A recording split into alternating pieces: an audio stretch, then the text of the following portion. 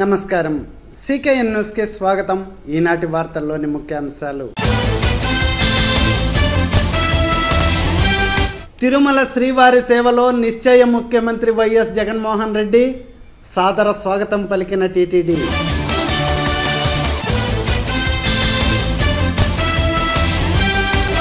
చిత్తూరులో దేదీప్యమానంగా హనుమ జయంతి వేడుకలు భక్తి శ్రద్ధలతో ప్రత్యేక పూజలు నిర్వహించిన భక్తజనం.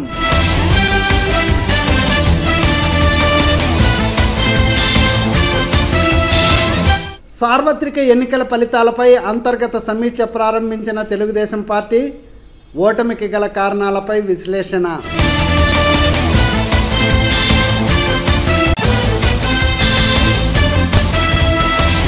పాఠశాలలు పునఃప్రారంభానికి పాఠ్యపుస్తకాలు పూర్తిగా అందజేస్తాం. సీకేఎంతో చిత్తూరు ఎంఈఓ సెల్వరాజ్. ఈనాటి వార్తల్లోని వివరాలు. ఆంధ్రప్రదేశ్ కాబోయే ముఖ్యమంత్రి వైఎస్ జగన్మోహన్ రెడ్డి ఈరోజు ఉదయం తిరుమల శ్రీవారిని దర్శించుకున్నారు. సాంప్రదాయ వస్త్రాలు తిరునామం ధరించి తిరుమల ఆలయానికి విచ్చేసిన వైఎస్ జగన్కు ఆలయ అర్చకులు టీటీడీ అధికారులు సాదర స్వాగతం పలికారు. అనంతరం వైకుంఠం క్యూ కాంప్లెక్స్ మార్గం ద్వారా వైఎస్ జగన్ కలియుగ వైకుంఠనాథుడిని దర్శించుకున్నారు. రాష్ట్రానికి అన్ని విధాల మేలు చేయాలని ప్రజారంజక సుపరిపాలన అందించేలా ఆశీర్వాదం ఇవ్వాలని శ్రీ వెంకటేశ్వర స్వామిని కోరారు. ఆలయంలో శ్రీవారి సేవలో గడిపిన వైఎస్ జగన్కు రంగనాయకుల మండపంలో వేద పండితులు వేదాశీర్వచనం చేయగా శ్రీవారి చిత్రపటాన్ని తీర్థప్రసాదాలను అందించారు. టీటీడీ ఈవో అనిల్ కుమార్ సింగాల్ స్వామివారి శేషవస్త్రంతో జగన్ను సత్కరించారు.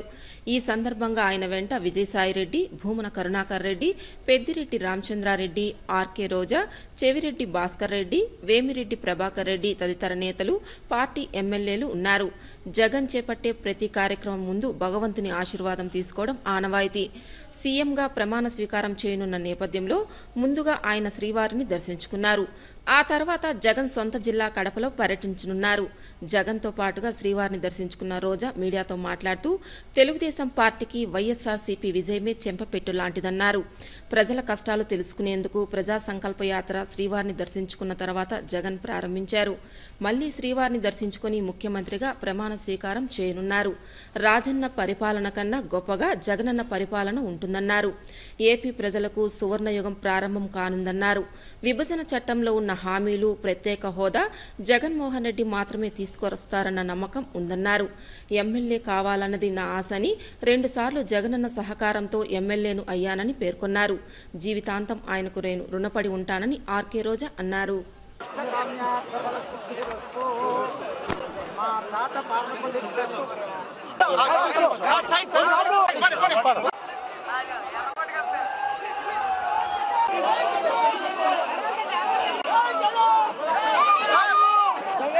జగన్మోహన్ రెడ్డి గారు పేదల కష్టాలు తెలుసుకొని అవి దూరం చేస్తానన్న భరోసా ఇవ్వాలని ఆయన ఆశీర్వాదంతో ప్రజా సంకల్ప యాత్ర ఇక్కడి నుంచి స్టార్ట్ చేశారు. విజయవంతంగా దాన్ని మూడు వేల ఆరు వందల కిలోమీటర్ల పైగా చేసి ప్రజల కష్టాలు తెలుసుకొని ప్రజలకు తను ఏం చేయబోతున్నాడో ఎన్నికల ముందు చెప్పారు కాబట్టి ఈరోజు ప్రజలందరూ జగన్మోహన్ రెడ్డి గారి మీద నమ్మకం పెట్టి నూట యాభై ఒక్క సీట్లు ఇవ్వటం అంటే ఇది ఒక చరిత్ర. సో మళ్ళీ ఈరోజు వెంకటేశ్వర స్వామి ఆశీర్వాదాలతో రేపు ప్రమాణ స్వీకారం సీఎంగా చేయబోతున్నారు. ఖచ్చితంగా ఏపీకి రేపటి నుంచి సువర్ణ యుగం ప్రారంభం కాబోతుంది. ఏ విధంగా అయితే రాజశేఖర రెడ్డి గారు ఉన్నప్పుడు మరి రాజన్న పరిపాలన మనం అందరం కూడా ఐదు సంవత్సరాలు చూసాము. అంతకన్నా గొప్పగా జగన్మోహన్ రెడ్డి గారు ముఖ్యమంత్రిగా తన పరిపాలనతో ప్రజలందరి మన్ననలు కూడా పొందుతారు.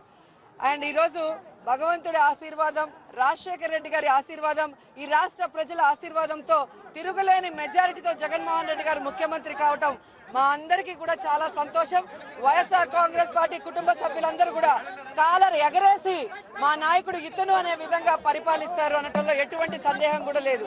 జగనన్నకి ఆయుర ఆరోగ్యాలు అష్టైశ్వర్యాలు కీర్తి ప్రతిష్టలు భగవంతుడు కల్పించాలి. ఆయన పరిపాలనలో ఈ రాష్ట్ర ప్రజలందరూ కూడా సుఖంగా ఉండాలి. శ్రీ హనుమాన్ జయంతి వేడుకలు నగరంలో అన్ని ఆంజనేయ స్వామి ఆలయాల్లో దేదీప్యమానంగా కొనసాగాయి. వేకుజాము నుంచి భక్తులు వీరాంజనేయ స్వామి వారికి ధూపదీప నైవేద్యాలు సమర్పించి ప్రత్యేక పూజాది కార్యక్రమాలు నిర్వహించారు. హనుమ జయంతి సందర్భంగా చిత్తూరు గిరింపేటలోని శ్రీ వీరాంజనేయ స్వామి ఆలయం స్థానిక పొన్నియమ్మన్ వీధిలోని ఆంజనేయ స్వామి తదితర ఆలయాల్లో భక్తులు పోటెత్తారు. పవన్ కుమారుడు అంజనీపుత్రుడు శ్రీరామదూతగా కొలుస్తున్న ఆంజనేయస్వామి జయంతి వేడుకలు బుధవారం నేత్రపర్వంగా కొనసాగింది. చిత్తూరు నగరంలోని ఆంజనేయస్వామి ఆలయాలు భక్తులతో కిటకిటలాడింది. ఈ మేరకు చిత్తూరు నగరంలోని గిరింపేట వీరాంజనేయస్వామి ఆలయంలో హనుమాన్ జయంతి వేడుకలు కన్నుల పండుగగా కొనసాగింది. అలాగే పొన్నెమ్మ గుడి వీధిలోని అభయ ఆంజనేయస్వామి ఆలయంలో శ్రీ హనుమాన్ జయంతిని ఘనంగా నిర్వహించారు. స్వామివారికి అత్యంత ప్రీతిపాత్రమైన తమలపాకులతో ప్రత్యేకంగా పూజలు నిర్వహించారు. నగర ప్రముఖులు స్వామివారి సేవలో తరించారు. ఉదయం అమృత గడియల్లో స్వామివారిని దర్శించుకుని విశేషంగా పూజలు నిర్వహించి తీర్థప్రసాదాలను స్వీకరించారు. హనుమాన్ జయంతి సందర్భంగా నగరంలోని అన్ని ఆంజనేయ స్వామి ఆలయాల్లో భక్తులు పోటెత్తారు. ప్రభాతంబు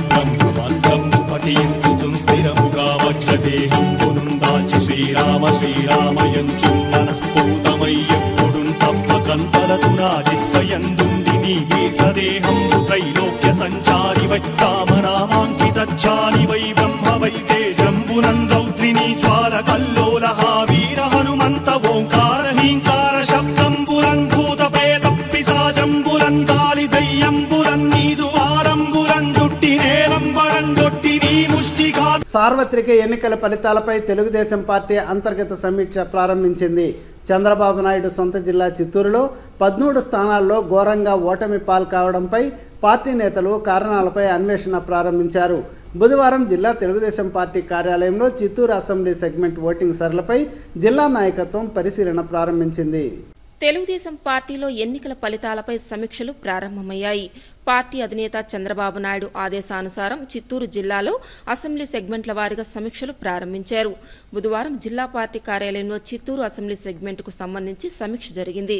చిత్తూరు నగరంతో పాటు గుడిపాల చిత్తూరు గ్రామీణ ప్రాంతాల్లోని పోలింగ్ బూతుల్లో తెలుగుదేశం పార్టీకి పడిన ఓట్లపై ఆరా తీశారు. వైఫల్యాలు నాయకుల్లో అంతర్గత విభేదాలపై సుదీర్ఘంగా చర్చ నిర్వహించారు. పసుపు కుంకుమ తీసుకున్న మహిళలు సైతం తెలుగుదేశం పార్టీ వైపు నడవలేదని సమీక్షలో స్పష్టంగా తేలింది. గుడిపాల మండలంలో నేతలు తెలుగుదేశం పార్టీకి ఓట్లు వేయించడంలో ఘోరంగా వైఫల్యం చెందినట్లు తెలిసింది. అలాగే చిత్తూరు నగరంలోని పది డివిజన్ల కార్పొరేటర్లు తప్ప మిగిలిన ప్రాంతాల్లో పెద్దగా తెలుగుదేశం పార్టీ కార్పొరేటర్లు ఓట్లు వేయించుకోలేకపోయినట్లు తెలిసింది. బీసీ వర్గాలు పూర్తిగా తెలుగుదేశం పార్టీకి సహకారం అందించలేదని స్పష్టంగా కనిపిస్తోంది. కర్ణుడి చావుకు వంద కారణాలు అన్నట్లుగా తెలుగుదేశం పార్టీ ఓటమికి అందరూ బాధ్యులే అన్నట్లుగా స్పష్టమైంది. కేవలం చంద్రబాబు నాయుడు చరిష్మా తప్ప పార్టీలో నేతలు ఎవరు గెలుపు కోసం పనిచేయలేదని సమీక్షల్లో నేతలు తేల్చారు. అనంతరం పార్టీ నేతలను ఉద్దేశించి ఎమ్మెల్సీ దొరబాబు ప్రసంగించారు. సార్వత్రిక ఎన్నికల ఫలితాలను బేరీజు చేసుకుని పార్టీ బలోపేతానికి ప్రతి ఒక్కరూ శక్తివంచన లేకుండా కృషి చేయాలని పిలుపునిచ్చారు. కష్టకాలంలో పార్టీని నడిపించడానికి ప్రతి కార్యకర్త సైనికుడిలా పనిచేయాలని సూచించారు. రానున్న జిల్లా పరిషత్ పంచాయతీ పురపాలక ఎన్నికల్లో తెలుగుదేశం పార్టీకి పూర్వ వైభవం తీసుకురావడానికి శ్రమించాలన్నారు. అలాగే పక్షం రోజులకు ఒకసారి క్షేత్రస్థాయిలో తెలుగుదేశం పార్టీ పురోగతిపై సమీక్ష ఉంటుందన్నారు. ఈ కార్యక్రమంలో మేయర్ హేమలత తెలుగుదేశం పార్టీ నాయకులు చంద్రప్రకాష్ ఏఎస్ మనోహర్ అశోక్ ఆనంద్ యాదవ్ త్యాగరాజ్ షణ్ముగం జహంగీర్ మోహన్ రాజ్ విజయ తదితరులు పాల్గొన్నారు. ఇవ్వడం పెన్షన్లు ఇవ్వడం అడిగిన కార్యక్రమాలంతా చేశాడు అంటే కష్టం అనేది తెలియలేదు. విభజన జరిగిన తరువాత ఆర్థిక ఇబ్బందులున్నా కష్టం అనేది మన ప్రజలకు చేయ ఉండకూడదు అని మరి ఇప్పుడే కూడా కమలేష్ బాబు చెప్పాడు నూట ఇరవై సంక్షేమ కార్యక్రమాలు. అన్నీ కూడా చేస్తా వచ్చేసి అంటే ప్రజలకు కష్టం తెలియలేదు ఇంతేనా ఆయన అన్నాడు ఏదో పండ్లు కథ చెప్తా. ఒక పండు తీస్తే టేస్ట్గా ఉంటే రెండో పండు మూడో పండు తీస్తే టేస్ట్ లేదు. ఆ విధంగా అన్ని కార్యక్రమాలు. ఏ వర్గాలకు న్యాయం జరగలేదని చెప్పండి. మైనార్టీ జరగలేదా? ఎస్సీలకు జరగలేదా? బీసీలకు జరగలేదా? చిన్న బుడ్డ పుట్టినప్పటి నుంచి చనిపోయేంత వరకు ప్రతి మనిషికి అన్ని కార్యక్రమాలు చేసిన వ్యక్తి భారతదేశంలో ఎవరైనా ఉండారంటే చంద్రబాబు నాయుడు గారు ఒక్కడే కూడా ఈ రోజు మనం అందరూ కూడా గుర్తుపెట్టుకోవాల్సిన అవసరం. పాఠశాలలు పునః ప్రారంభమయ్యేలోపు ప్రభుత్వ పాఠశాలలకు పాఠ్యపుస్తకాలు పూర్తి స్థాయిలో సరఫరా చేస్తామని చిత్తూరు ఎంఈఓ సెల్వరాజు పేర్కొన్నారు.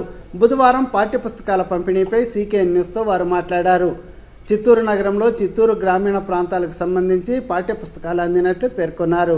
ప్రభుత్వ పాఠశాలలు పునఃప్రారంభమయ్యేలోపు ప్రభుత్వ పాఠశాలలో మౌలిక వసతుల కల్పనతో పాటు విద్యార్థులు పాఠ్యపుస్తకాలు అందించడానికి జిల్లా విద్యాశాఖ కసరత్తును ప్రారంభించింది. తొలి విడుదలలో చిత్తూరు జిల్లాకు కేటాయించిన పాఠ్యపుస్తకాలను ఆయా మండల పరిధిలోని ఎంఈఓలకు అందజేశారు. చిత్తూరు నగరం చిత్తూరు గ్రామీణ పరిధిలోని అన్ని ప్రభుత్వ ఎయిడెడ్ మున్సిపల్ పాఠశాలలకు సంబంధించి పాఠ్యపుస్తకాలు పూర్తిగా అందాయి. ఇదే విషయంలో చిత్తూరు మండల విద్యాశాఖ అధికారి సెల్వరాజ్ బుధవారం సీకే న్యూస్తో మాట్లాడారు. పాఠశాలలు పునఃప్రారంభమయ్యేలోపు అన్ని పాఠశాలలకు పాఠ్యపుస్తకాలను అందజేస్తామన్నారు. ఈ విద్యా సంవత్సరము ప్రభుత్వ పాఠశాలల్లో చదువుతున్నటువంటి విద్యార్థులకు సంబంధించి పాఠ్యపుస్తకాలు పాఠ్య పుస్తకాలు ఉచితంగా ప్రభుత్వం నుంచి సరఫరా చేయడం జరిగింది. ఇందులో భాగంగా మనకు చిత్తూరు మండలంలో ప్రాథమిక ప్రాథమికోన్నత మరియు ఉన్నత పాఠశాలలు నూట ముప్పై పాఠశాలలు ఉన్నాయి ఈ నూట ముప్పై పాఠశాలలకు గాను మొత్తము అరవై వేల నాలుగు వందల పదకొండు పాఠ్య పుస్తకాలు అవసరం ఉన్నాయి కావలసిన పుస్తకాలు అరవై వేల నాలుగు వందల పదకొండు పుస్తకాలు. ఇందులో మొదటి విడతగా ముప్పై వేల ఆరు వందల అరవై నాలుగు పాఠ్య పుస్తకాలు మనకు చేరడం మండలానికి చేరినాయి. ఆ చేరినటువంటి అంటే యాభై ఒక్క శాతం పా పుస్తకాలు మనకు చేరడం జరిగింది. వీటిని వెంటనే ఇప్పుడు ప్రధాన ఉపాధ్యాయులకి దాన్ని ఇవ్వడం జరుగుతుంది. మిగిలినటువంటి నలభై తొమ్మిది శాతం ఆ, పుస్తకాలు అంటే ఇరవై తొమ్మిది వేల ఏడు వందల నలభై ఏడు పుస్తకాలు రావాల్సి ఉంది ఇవి రెండో విడత మూడో విడత వచ్చిన వెంటనే మళ్ళీ పాఠశాలకు చేరవేయడం జరుగుతుంది.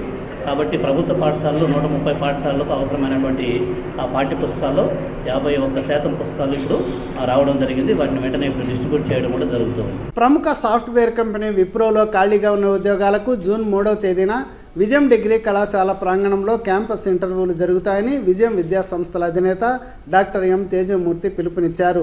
రెండు వేల పద్దెనిమిది పంతొమ్మిది విద్యా సంవత్సరంలో డిగ్రీ పూర్తి చేసిన అభ్యర్థులు మాత్రమే ఇందుకు అర్హులని వారు పేర్కొన్నారు. పదవ తరగతిలో యాభై శాతం ఇంటర్మీడియట్లో యాభై శాతం డిగ్రీలో అరవై శాతం మార్కులు పొందిన వారే ఉండాలన్నారు. ఎంపికలో పాల్గొనే విద్యార్థులు కళాశాలలోని ఆన్లైన్లో రిజిస్ట్రేషన్ చేసుకోవాలన్నారు. దీని కొరకు విద్యార్థులు తమ విద్యార్హత సర్టిఫికేట్లు ఆధార్ కార్డ్ ఒక ఫోటోతో జూన్ ఒకటో తేదీలోపు నేరుగా కళాశాల ఎందు సంప్రదించాలని కోరారు. కార్మికులకు అండా సిఐటియు జెండా. దేశంలోని కార్మిక వర్గాన్ని ఐక్యం చేయడానికి పంతొమ్మిది వందల డెబ్బై మే ముప్పయో తేదీ కలకత్తాలో సిఐటియు ఆవిర్భావ దినోత్సవం జరిగింది. యాభై ఏళ్ళు అయిందని జిల్లాలోని కార్మికులందరూ సిఐటియు స్వర్ణ జయంతి సంబరాలను ఘనంగా నిర్వహించాలని అన్ని చోట్ల జెండాలను ఎగురవేయాలని సిఐటియు జిల్లా ప్రధాన కార్యదర్శి పి చైతన్య పిలుపునిచ్చారు. సిఐటియు ఏర్పడ్డాక చేసిన ఐక్య పోరాటాల్లో పంతొమ్మిది వందల డెబ్బై నాలుగులో జరిగిన ఇరవై రోజుల రైల్వే కార్మికుల సమ్మె చాలా కీలకమైందని చెప్పారు. అత్యవసర పరిస్థితుల్లో జరిగిన ప్రజా పోరాటాలకు సిఐటియు మద్దతు పలికి అండగా నిలబడిందన్నారు. పంతొమ్మిది వందల తొంభై ఒకటి నుండి నయా ఉదారవాద విధానాలకు వ్యతిరేకంగా కార్మిక వర్గాన్ని ఐక్యం చేసి పోరాటం చేస్తున్న సిఐటియు సంబరాలను జరపాలని కోరారు. కేంద్రంలో రాష్ట్రంలో అధికారానికి వచ్చిన పాలకులు ఎన్నికల సందర్భంగా ఇచ్చిన హామీలను అమలు చేయాలని నెలకు పద్దెనిమిది వేల రూపాయలు కనీస వేతనం ఇవ్వాలని కాంట్రాక్ట్ అవుట్సోర్సింగ్ ఉద్యోగులను శాశ్వత ఉద్యోగులుగా గుర్తించాలని డిమాండ్ చేశారు. వివిధ రంగాల్లోని కార్మికులకు పెండింగ్లో ఉన్న వేతనాలను వెంటనే చెల్లించాలని కోరారు. కార్మిక వ్యతిరేక విధానాలను విడనాడాలని హితవు పలికారు. వన్ నాట్ ఎయిట్ వాహనాలను రాష్ట్ర ప్రభుత్వమే నడపాలని విజ్ఞప్తి చేశారు. ఈ సమావేశంలో వన్ నాట్ ఎయిట్ ఉద్యోగుల అధ్యక్షుడు శివకుమార్ కార్యదర్శి రసూల్ చంద్రబాబు మహేష్లతో పాటు ఉద్యోగులు పాల్గొన్నారు. కేంద్రంలో ఏర్పడే ప్రభుత్వము ఆ ప్రభుత్వంలో ఎవరైతే కూటమిగా ఉండే పార్టీలు ఈ ఎన్నికల సందర్భంగా ఏవైతే హామీలు ఇచ్చారో మన రాష్ట్రంలో ఏ పార్టీ అయితే అధికారం రావాలని కోరుకుని హామీలు ఇచ్చిందో ఇవన్నీ కూడా అమలు చేయకపోతే పెద్ద ఎత్తున కార్మికుల్ని సమీకరించి ఆందోళన చేయడానికి సమాయత్తంగా సంవత్సరం ప్రణాళిక చెప్పేసి సీట్ ఏర్పరచాలి మూడవది ఈరోజు ఎండలు చాలా తీవ్రంగా ఉన్నది. గ్రామీణ ప్రాంతంలో వ్యవసాయ కూలీలు ముఖ్యంగా ఉపాధి హామీ కార్మికులు చాలా ఇబ్బందులు పడుతున్నారు. మేము సీరియట్గా అరవై ఆరు మండలాలు సర్వే చేశాము. ఇటువైపు పడమటి మండలాలు ముప్పై ఏడు మండలాల్లో సర్వే జరిగింది. ఈ సర్వేలో వచ్చిన అంశాలు ఏమంటే ఎక్కడ కూడా ఆ యొక్క ఉపాధిలో పనిచేస్తున్న కూలీలకు లేవు మజ్జిగ ప్యాకెట్స్ ఇవ్వడం లేదు. ఓఆర్ఎస్ ప్యాకెట్స్ ఇవ్వడం లేదు. కనీసం పందిరు లేయడం లేదు. లేదా అది జ్వరం వస్తే అందుబాటులో మందులు లేవు. చట్టంలో అన్ని సభలు ఉన్నప్పటికీ కూడా ఈ జిల్లా స్థాయిలో కలెక్టరు దీనికి సీరియస్గా పట్టించుకోవడం లేదు. తిరుమల శ్రీవారిని ప్రముఖ సినీ దర్శకుడు రామ్ గోపాల్ వర్మ ఈరోజు దర్శించుకున్నారు. ఈరోజు ఉదయం ఏపీ విరామ సమయంలో స్వామివారిని దర్శించుకుని మొక్కులు చెల్లించుకున్నారు.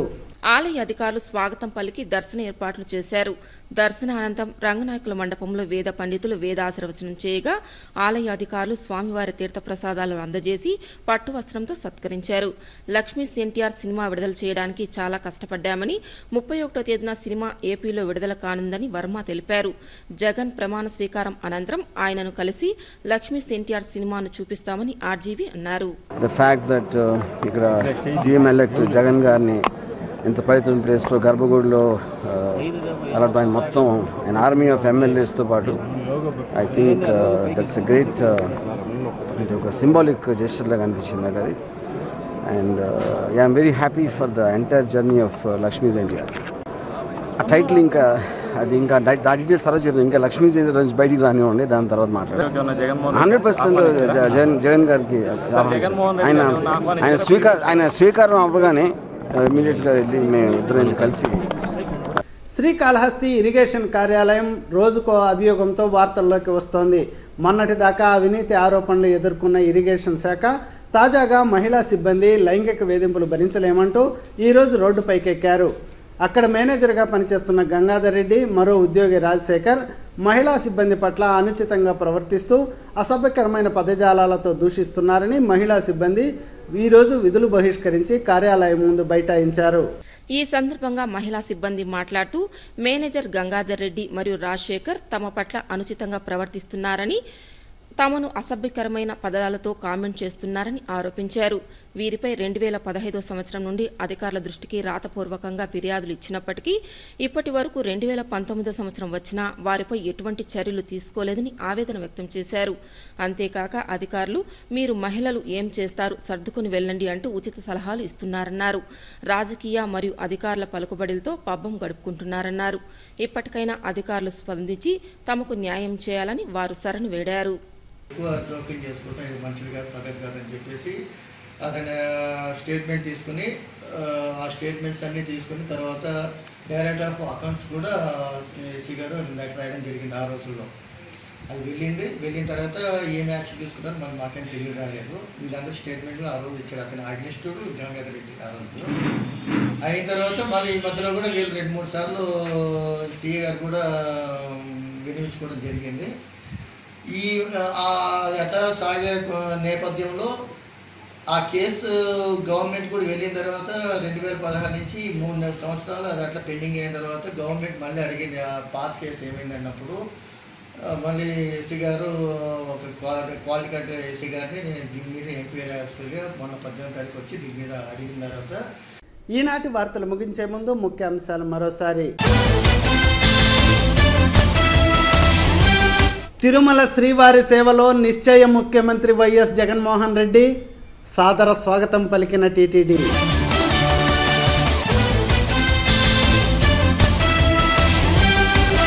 చిత్తూరులో దేదీప్యమానంగా హనుమ జయంతి వేడుకలు భక్తి శ్రద్ధలతో ప్రత్యేక పూజలు నిర్వహించిన భక్తజనం.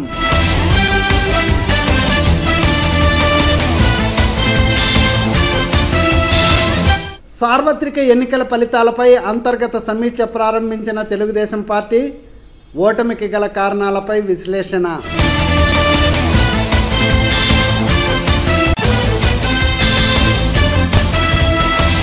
పాఠశాలలు పునఃప్రారంభానికి పాఠ్యపుస్తకాలు పూర్తిగా అందజేస్తాం. సీకేఎన్తో చిత్తూరు ఎంఈఓ సెల్వరాజ్. ఈ వార్తలు ఇంతటితో సమాప్తం. మళ్ళీ రేపు ఇదే సమయానికి సీకేఎన్ న్యూస్లో కలుసుకుంటాం. అంతవరకు సెలవు. నమస్కారం.